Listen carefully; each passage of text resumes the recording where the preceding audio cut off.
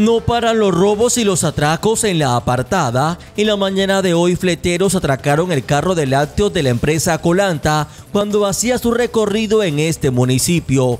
Los hechos ocurrieron en la calle 36 del barrio Divino Niño, cuando dos personas en una motocicleta abordaron a los trabajadores del carro repartidor de lácteos de Colanta y con revólver en mano le exigieron la plata del producido. De inmediato los trabajadores le entregaron la suma de 800 mil pesos, que era la suma del dinero del producido. El fletero abordó la motocicleta y junto a su compañero huyeron con rumbo desconocidos. Los trabajadores dieron aviso a la policía, quienes llegaron al lugar para tratar de dar con el paradero de los fleteros que se movilizaba en una motocicleta bolse color negro. Uno de los fleteros era de color moreno, vestía bermuda y otro de color blanco, vestía pantaloneta y chanclas. Ante esta ola de robos y atracos, el alcalde Luis Carlos González, en un consejo de seguridad presidido esta semana, tomó la decisión de hacer efectiva la compra de unas cámaras de seguridad para el municipio y al mismo tiempo dotar de dos motocicletas nuevas a la estación de policía, pues se espera que estas medidas sean eficientes para mitigar esta problemática de robos y atracos en la apartada Córdoba.